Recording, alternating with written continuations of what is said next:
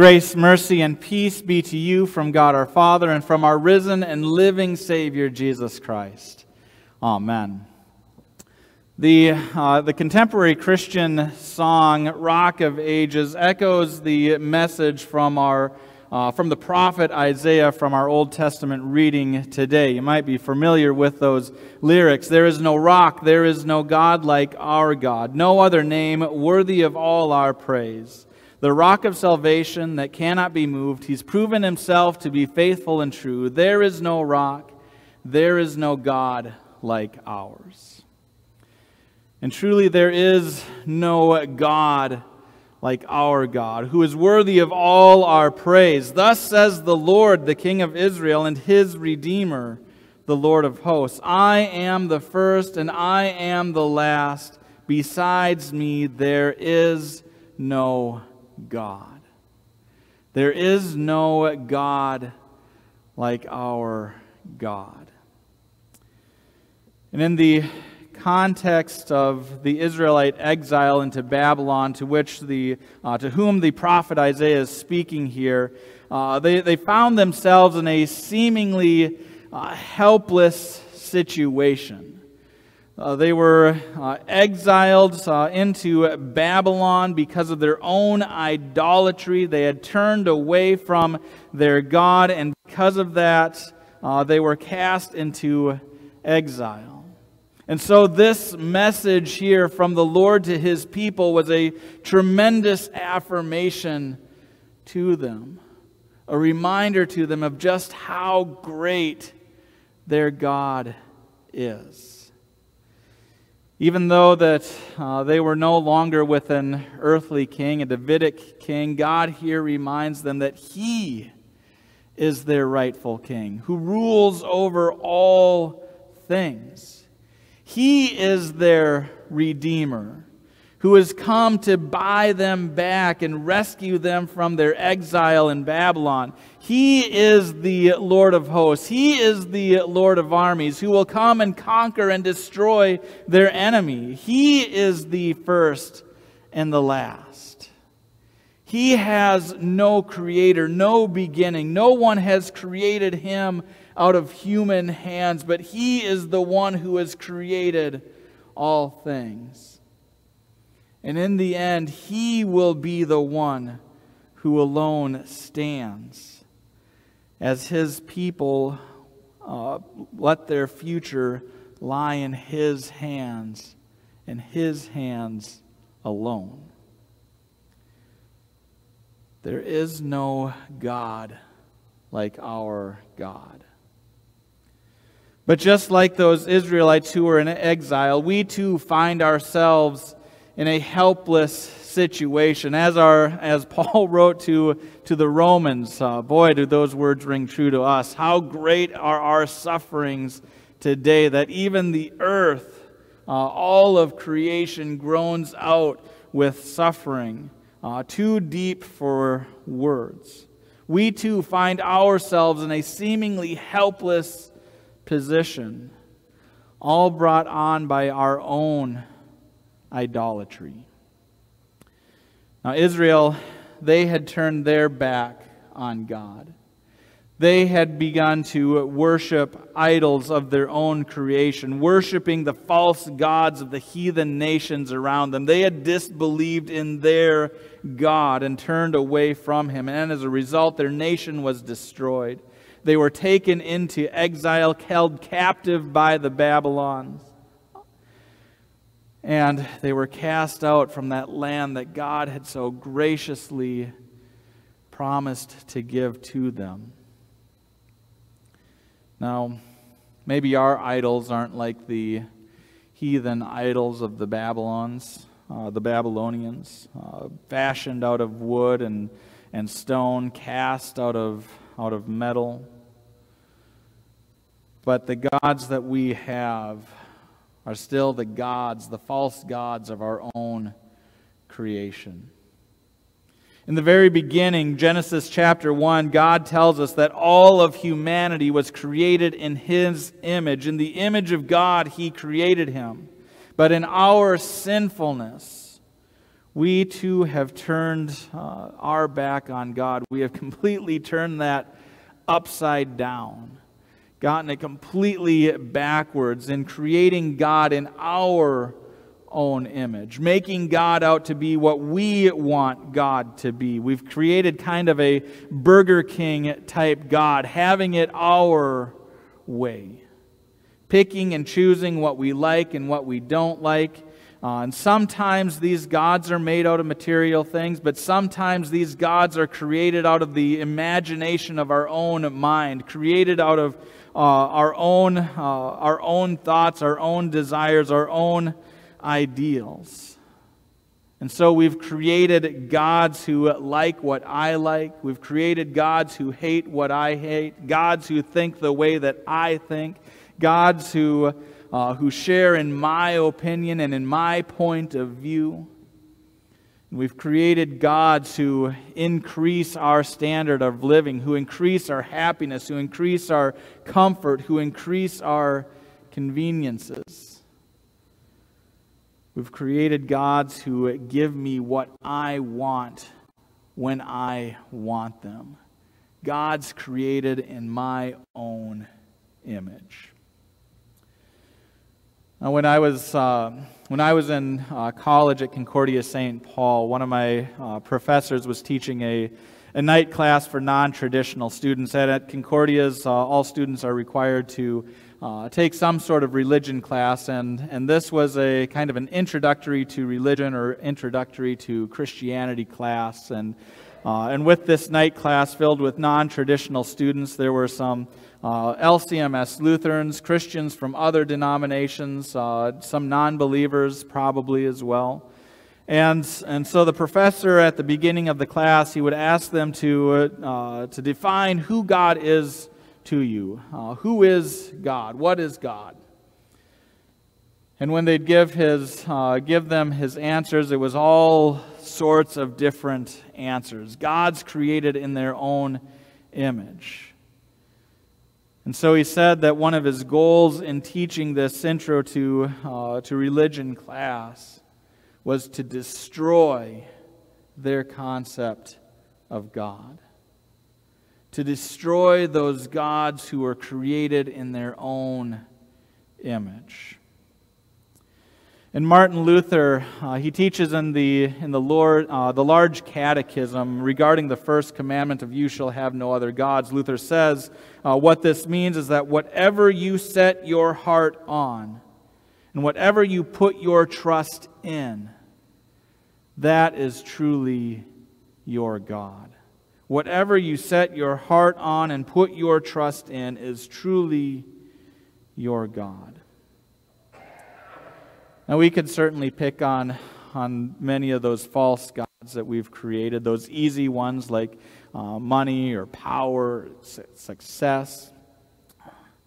But what if your God looks like your health? Or what if your God looks like the Democratic or Republican parties? Or what if your God looks like this country or the media outlet that fits into your agenda, into your perspective, uh, proclaiming your narrative? Or what if your God looks like sports and entertainment? Or what if your, fam- uh, what if your God looks like your family? Or maybe your God is having things normal. Or your God is conveniences. Now, many of these things are good and gracious gifts from God. God gives us health, He gives us government, He gives us money, and these are all good things when they're used for His purposes. These are good and gracious gifts. But whatever you set your heart on and put your trust in is truly your God. And so when we make these things out to be our God, these things that we set our hearts on, that we put our trust in, that's when we begin to have problems, and these become evil things.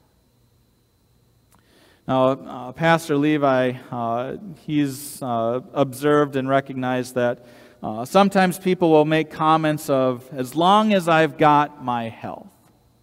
As long as I've got my health, then I'm perfectly content and happy. No matter what's going on, as long as I've got my health, things are okay. No matter how bad it gets, as long as I've got my health, we're good to go. As long as I've got my health. But what happens if you don't have your health? What happens if you don't have your political party? What happens if you don't have your country, your family, your sports, your job, your entertainment, your bank account, your normal, your conveniences? Then what happens?